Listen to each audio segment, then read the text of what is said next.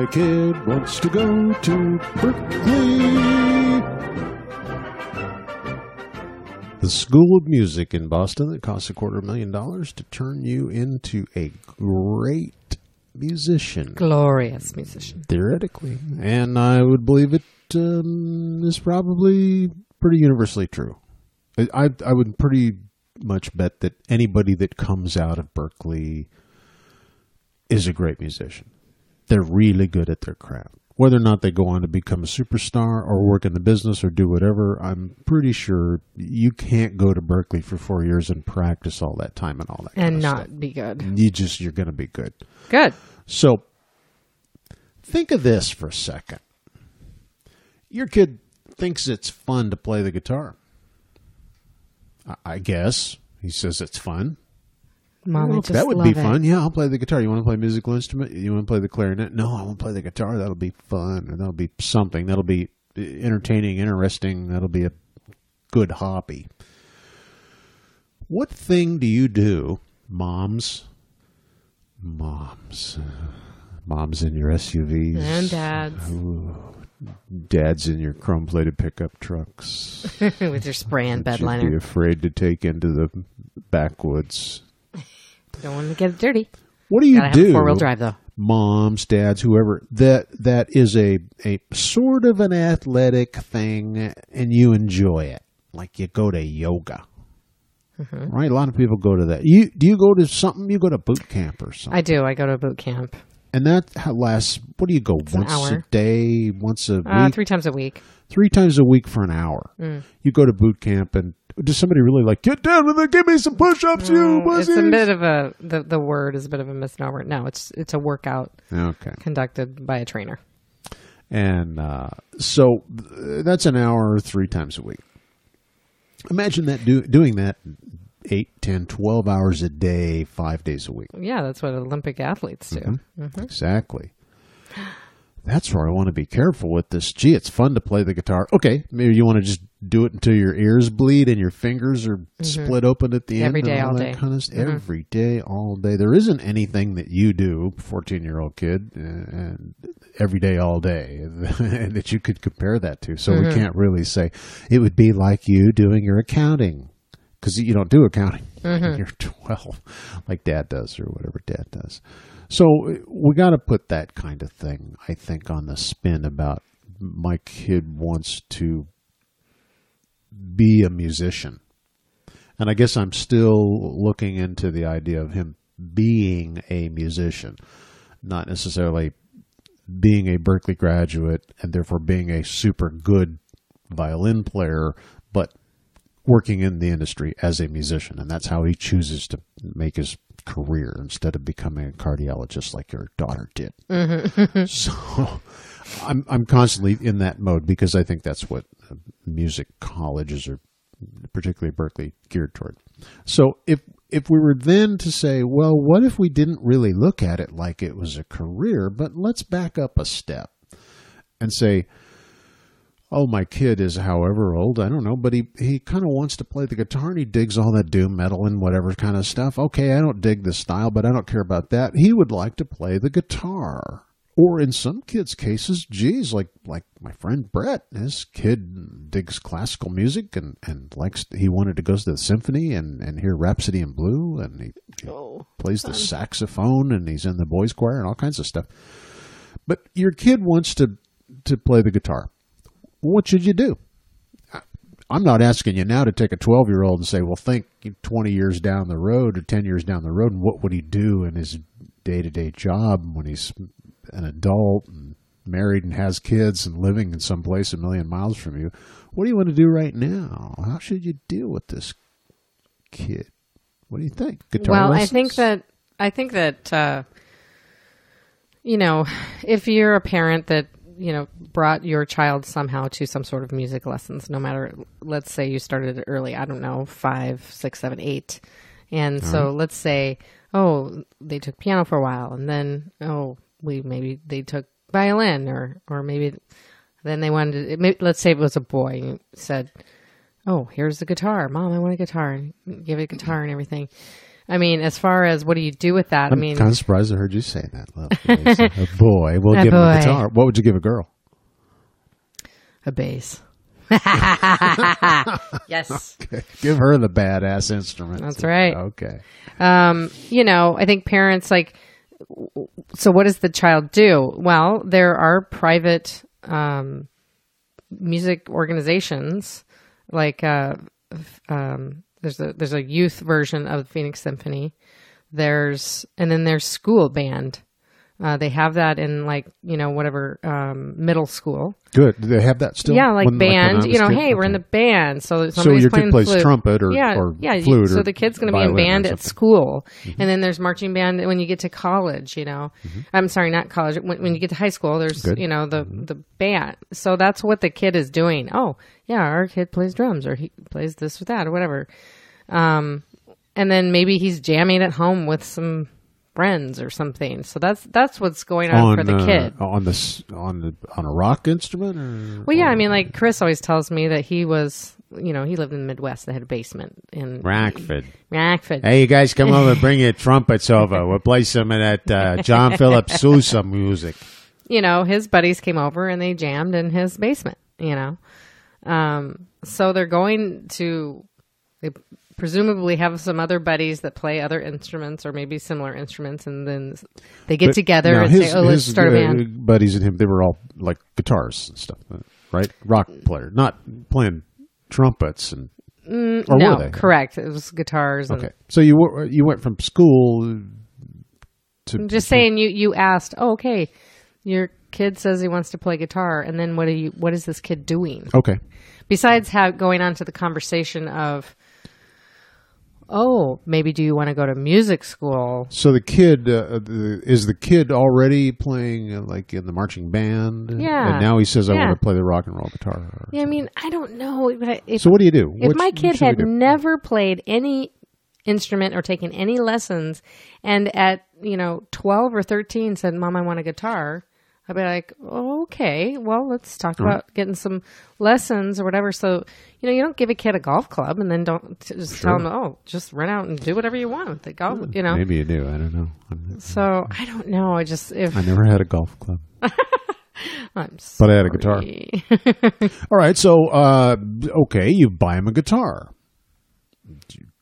You probably buy your kids lots of things, don't you?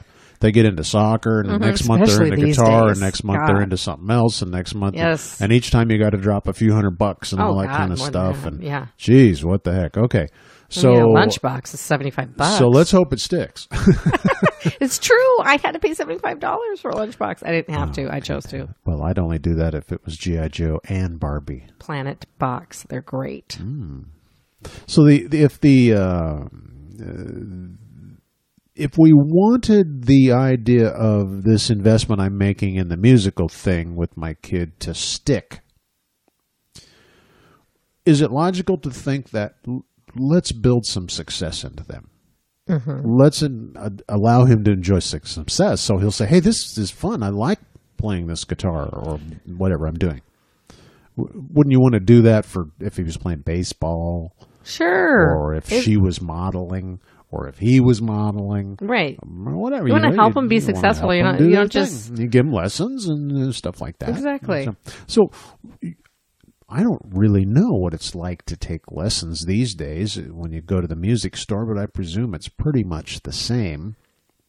Take lessons a- at the music store. yeah, Oh. uh, they all the people that they pay minimum wage up front are the. Uh, it- it's all those kids that you hear me rag on in Craigslist who say they wouldn't play the the trailer parks because Mm-hmm. that's beneath them. Well, they get a job over here at the music store making now ten dollars and fifty cents an hour. Is that what minimum Arizona. wage is That's here? what minimum wage is, and they're like they're allowed to grow their hair long, encouraged because then they look kind of like a rock star. Right. It's And a I'm job where they about- can wear whatever they want and have their hair long. Oh yeah, you can deliberately look a little Grungy. wonky. I want piercings and stuff. And, Right, and, yeah. uh, there's no you different in Guitar. Center and, and Artsy. You know, mom and pop stores, whatever and stuff like. Well, I don't know about mom and pop stores. I don't think we have any of those anymore. But so we, Um, the kid out front, you go into one of the little back rooms that's the size of uh, half of a typical residential bedroom kind of thing, half the size of this little studio.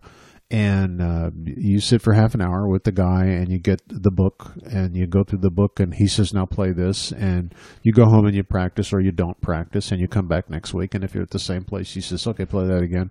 And if you didn't practice you could come back for the rest of your life and he could say well don't play that.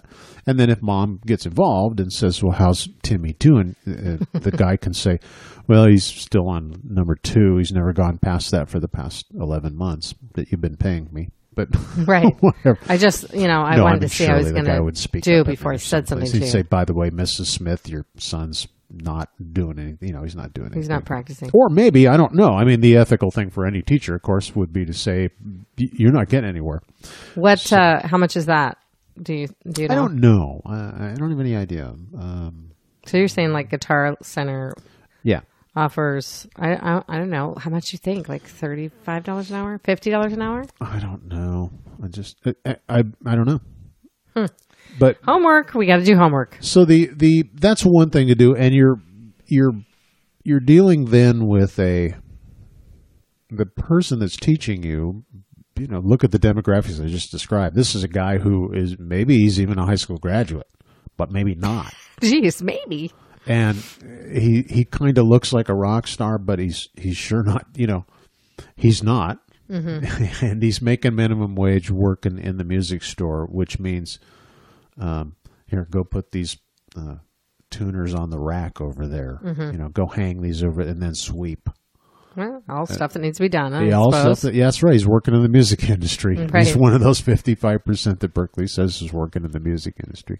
So this is the the, the master that your kid's going to. So, um, despite any good intents or or some kind of success that this minimum wage kid might have had as a bedroom shredder, it's it's I doubt there's any giant potential there for your kid learning from him and then going, man, this is really cool. This enlightening thing about music. I'm really learning a lot and I'm really figuring out how music works and stuff. And I like this. Thanks for buying me this expensive stuff, mom. I'll do this for another year or day or however long they, they just, I'm just not seeing that happening. You know, Uh, pretty soon he's going to go on to something else. So, uh, um, that was my thought tonight is what can we teach this kid that would help him to understand what's going on with the guitar when he plays it. And and, and I, I kept coming back to the idea of that Of private lessons.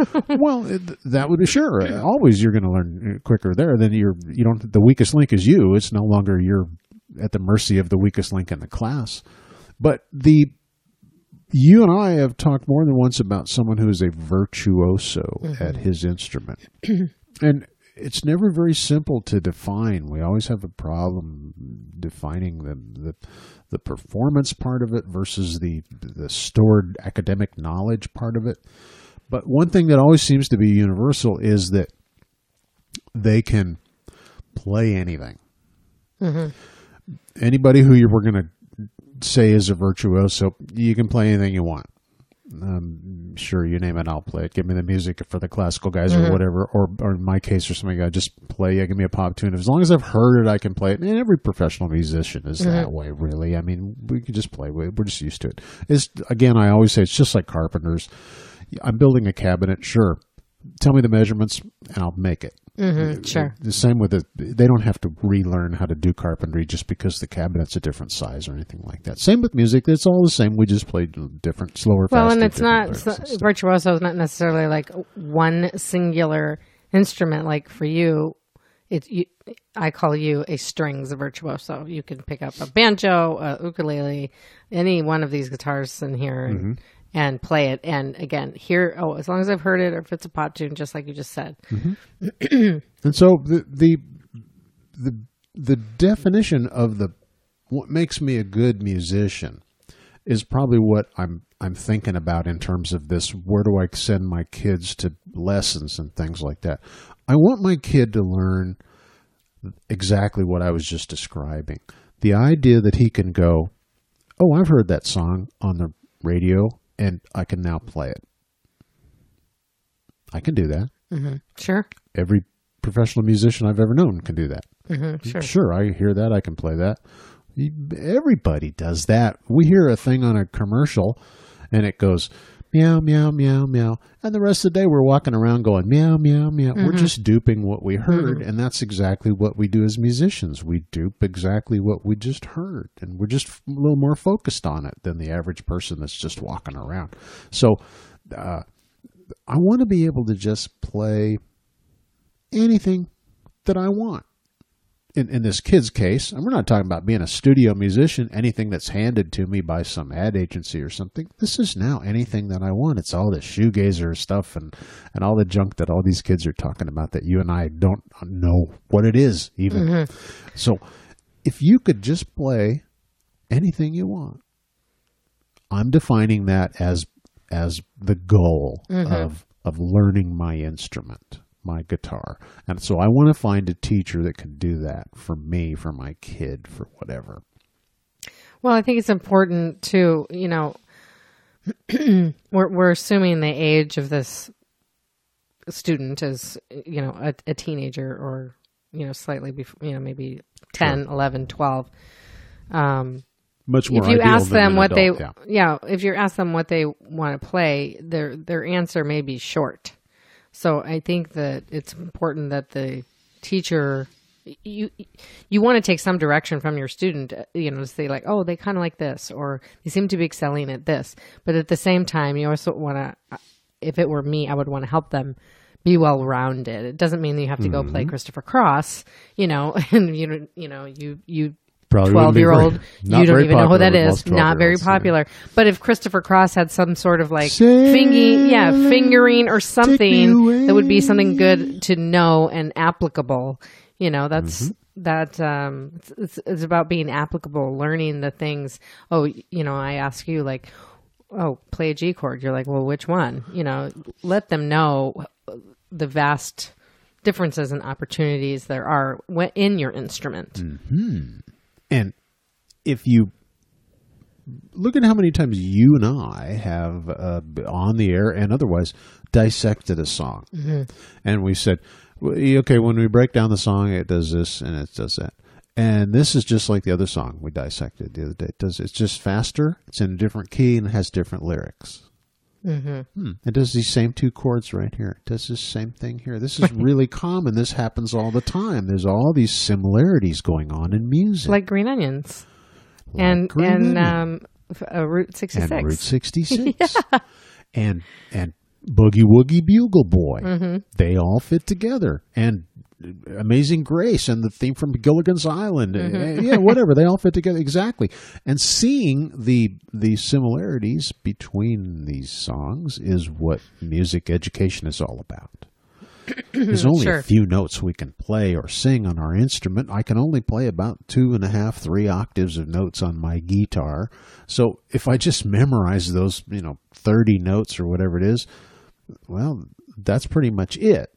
Now the only thing I got to do is recall it and make it sound like Route 66 or Green Onions or whatever it is that I'm doing. Mm-hmm. So that part is the artistic, musical, fun, subjective part of things that I can do once I have the objective, physical, mathematical, academic kind of approach to the instrument. I got to know how to tune it. Mhm, That's sure. the simplest of the academic part. You know, that's very, very mathematical, and you you hook a tuner on, or you do something, and you you just when the light turns green and all that kind of junk. And so, so see, that's nothing at all creative or musical.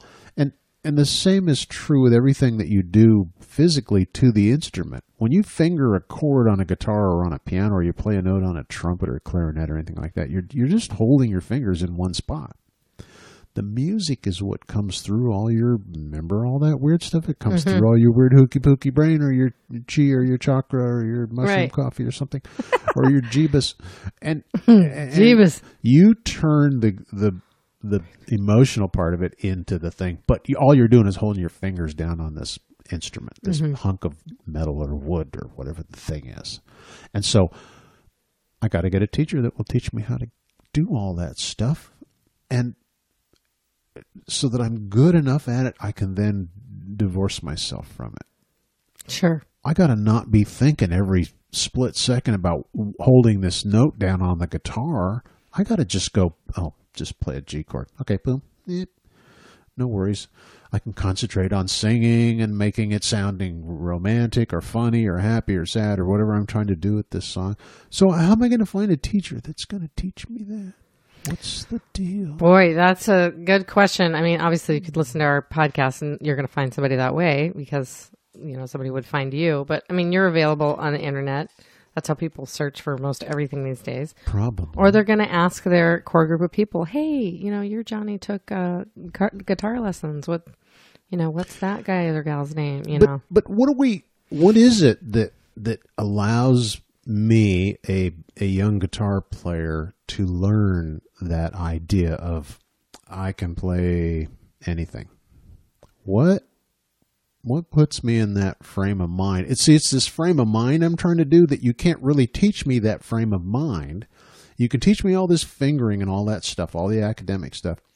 You can't put me in the frame of mind, but there is something that'll put me in that frame of mind. You and I discuss it pretty frequently. You saw it when you went to San Diego or whenever you went when that kid came to the thing and played with those other guys. confidence. We can play with other people. We just play with others. We need to play with other people. Sure, that exchange of, Mm-hmm. you know, performance, perform together. Um, what happens when we play our instruments Mm-hmm. together? I guarantee you that the places that I will teach your teenage son to place his fingers on his guitar in order to play an E minor chord would be exactly the places that they will teach you at Berklee. He will just have the, the benefit of 4,000 kids there who play other instruments to ensemble with. What a wonderful thing that is. Right. So, we need to teach our kids the nuts and bolts of the guitar. Yes. And the simplest way to translate that is look, just make it into reading music. It's just that simple. Don't don't let him goof you up on this I don't want to read music, it's too hard nonsense. You want to play the guitar, good for heaven's sakes, and you want to, you know, look like a big shredder guy and they stand up on one foot and do all that stuff and you want to do some difficult stuff in your life, you know, learn to read stupid music. It's not that hard.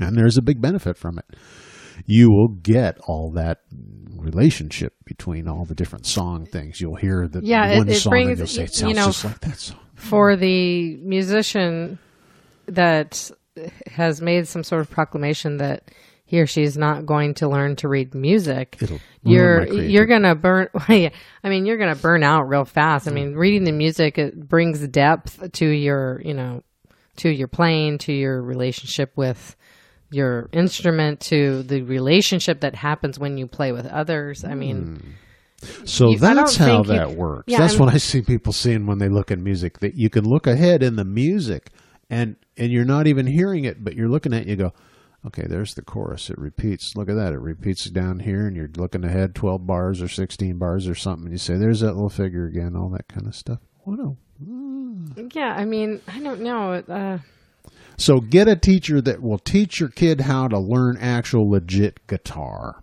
sure.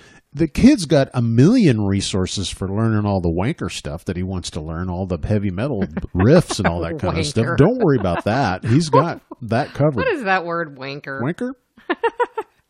if you don't know, That's not a wank. That's not a word. yeah, he's a wanker. You wanker. yeah, I think it means like I think it means masturbating. Oh, jeez. What's, what's he doing? He's wanking. so you're a wanker. Okay. So, but uh, see, he's got all that covered. He's going to learn, even if you don't give him lessons. He's going to go all the, the YouTubes and his buddies and all that junk, and and learn how to play those riffs that he wants to learn how to play, and how to have all the equipment and the all that kind of junk. Lisa's doing something weird. I think she's maybe No, I'm not. I took there. out What my. you- it's like a little are you doing wooden massager. oh, you're doing a little shiatsu on your, on or Shiatsu. Okay. Shiatsu. So uh, uh, that's the thing. The other thing that, and this is kind of elusive, and we got to deal with this in more than one segment, but Berklee is going to immerse you so deeply into the concept of being with other musicians that you will get this great feel for what it will be like in the real world. You've heard me talk about working in L.A. and I worked You think they they introduced that right away? That concept right away, Yes. working in the real world. Yeah, and Okay. I'll show you why. In, Go um, on. in in L.A., I worked in in Capitol Records and I worked in Gold Star Records. They're about six blocks apart, stuff like that. I went over to Les Paul's house when we had a break, and he'd work on your guitar, and he was three blocks down the street, stuff like that. You literally walked everywhere. You couldn't park anywhere. There wasn't any place to park, and and you were. And why would you when it was five blocks? Yeah, you just had to walk over there. Even if I had to go buy a new guitar down at Guitar Center, I could go down there and be back in 20 minutes by walking. You could never do that by car, and it would cost you a mint to park and all that kind of stuff. So you just walked everywhere. And you were constantly around 10 billion other musicians. Okay, so go to Berklee. You probably live in what they call the residence halls, which has two, three, or four people per room. They don't mm-hmm. have a campus like you and I might think of a campus here. and Maybe it's more of what happens on the East Coast generally, but it's a, they have one building, like they have the 150 building. That's mm-hmm. 150 something street, and and that has like whatever they have, you know, piano things and stuff. And then the two or three buildings down the street, not connected, they'll have the room where all the the recording studios are and stuff like that. So there's little buildings uh, separated by other regular non-related businesses. Where you and I would think of Arizona State University as like a big city on its own. It has all that stuff. It has banks and coffee shops and restaurants and police departments and stuff.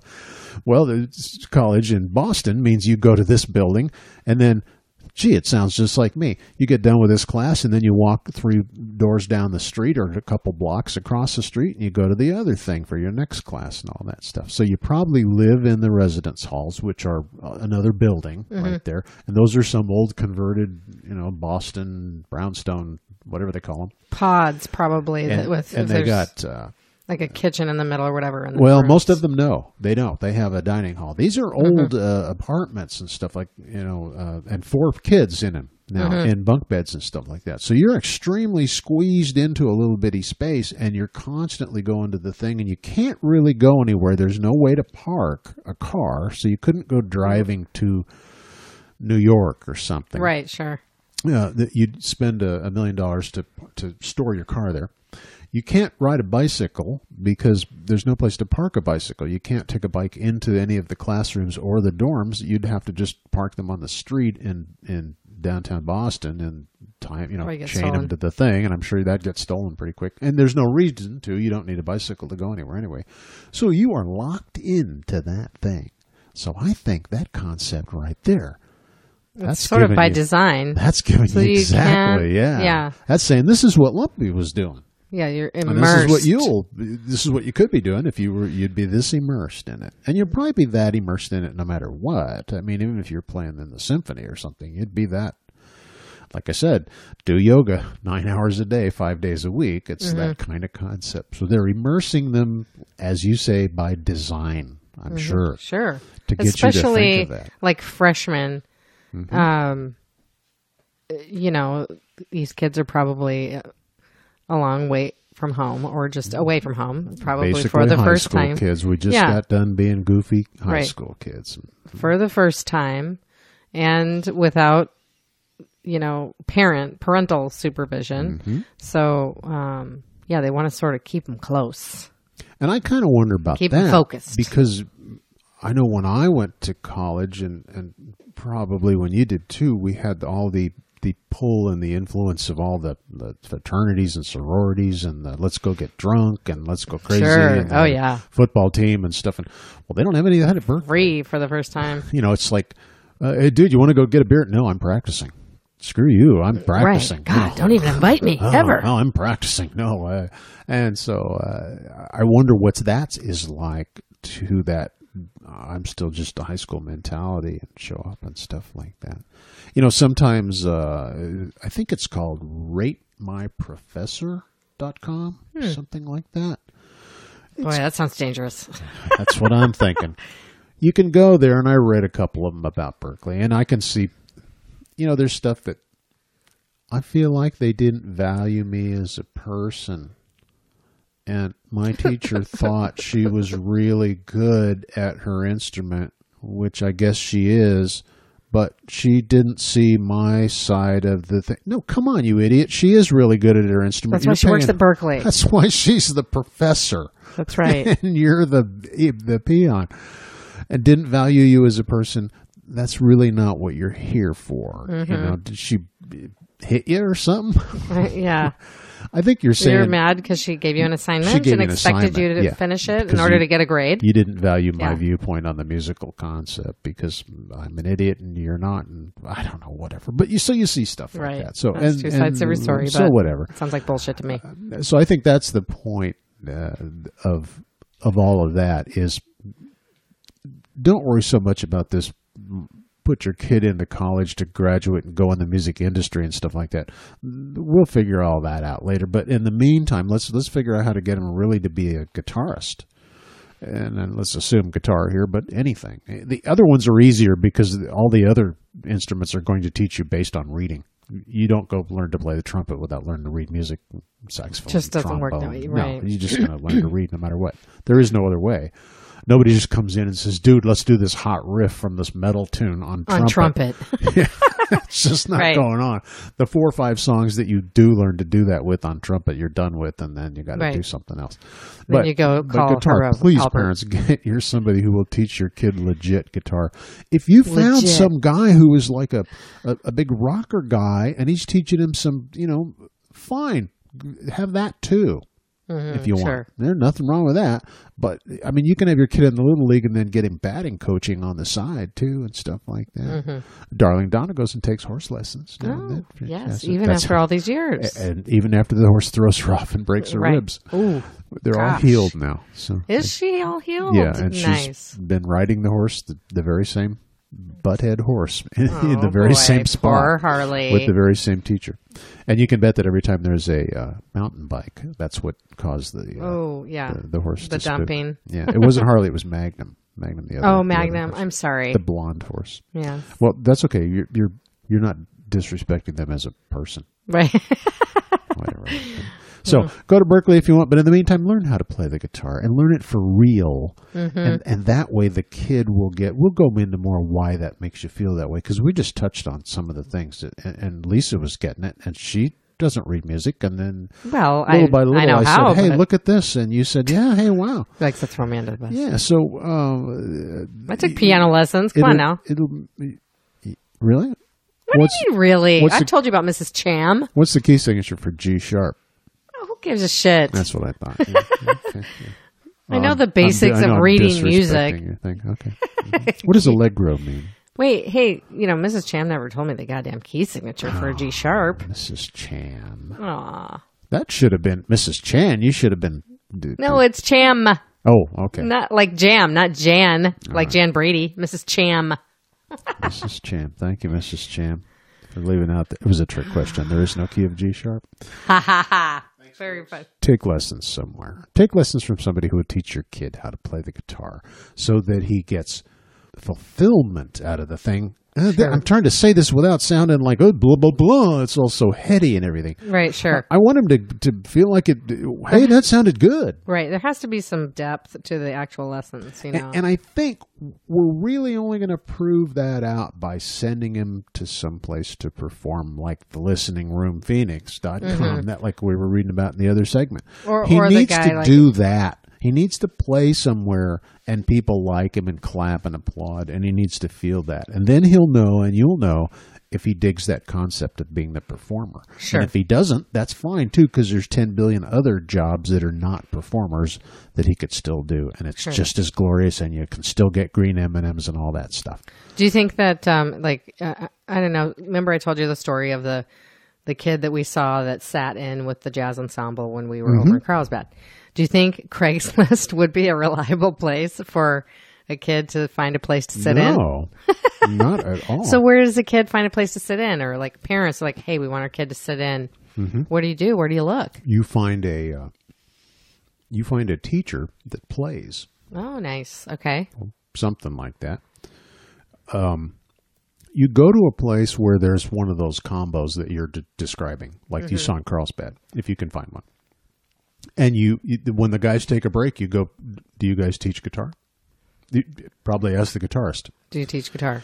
You could probably ask the pianist, and he could do that too. Besides playing bass over here with his left hand and changing the light bulb with his right hand, he can also teach guitar. But yeah, take lessons from those guys. Mm-hmm.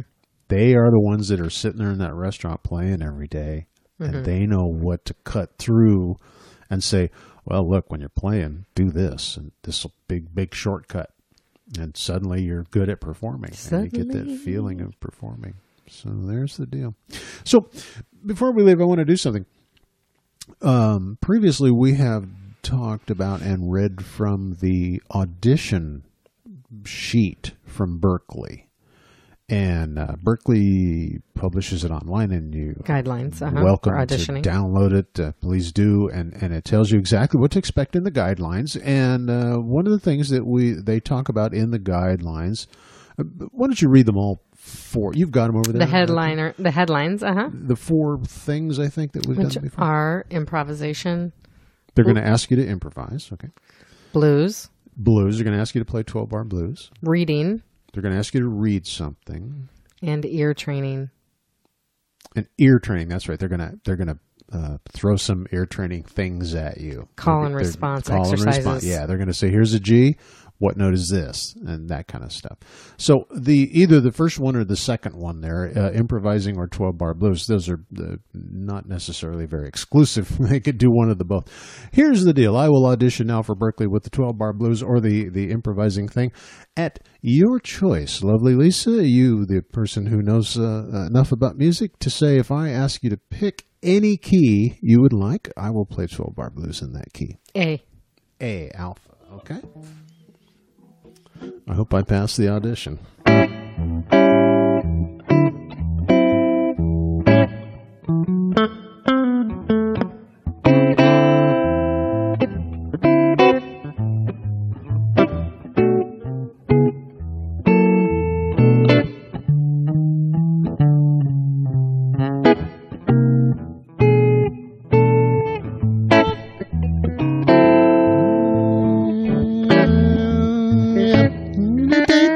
Take